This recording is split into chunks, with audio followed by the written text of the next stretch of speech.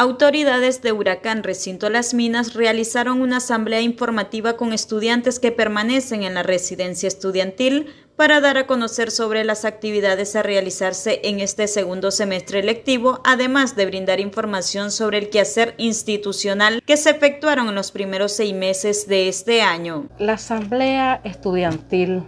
se reviste de mucha importancia porque ellos son la parte medular de nuestra universidad. Ellos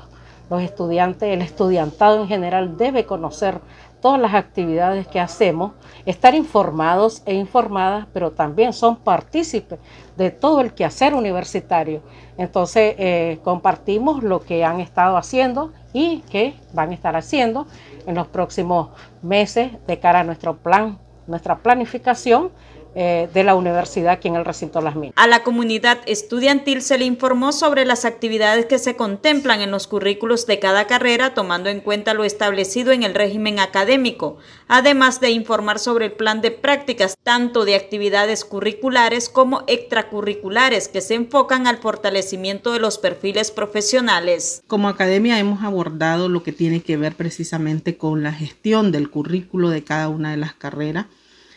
haciendo énfasis un poco en lo establecido en el régimen académico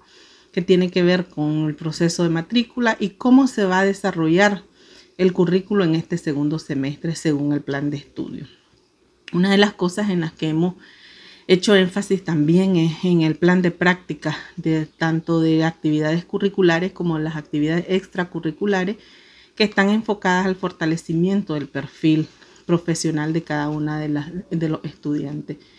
Y aquí eh, eh, está relacionado con la disposición de los muchachos y muchachas de participar en todas aquellas actividades extracurriculares que hemos venido eh, desde la gestión de vicerrectoría haciendo con las instituciones y las organizaciones de nuestro municipio para que los muchachos puedan con el acompañamiento docentes y de las coordinaciones de, de área ejecutar ese plan de actividades.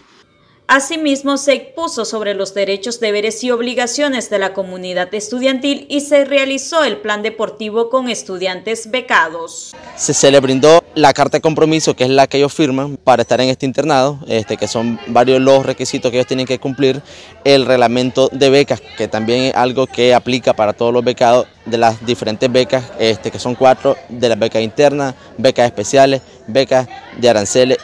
entre otras, ¿verdad? También este, se les compartió un poco del reglamento estudiantil como parte del proceso de inducción para que los estudiantes hagamos cumplir nuestros deberes, pero también saber cuáles son nuestros derechos como estudiantes. Más para los becados internos, estamos en la promoción del deporte con los estudiantes, ya que pocos de los becados internos de las mujeres, en este caso, les gusta participar en actividades deportivas y hoy el propósito es que puedan salir dos, tres, cuatro equipos en las diferentes disciplinas. Estamos comprometidos a que toda la comunidad estudiantil pueda participar en esta séptima temporada de la Liga Universitaria Estudiantil. Huracán, la primera universidad comunitaria intercultural en América Latina.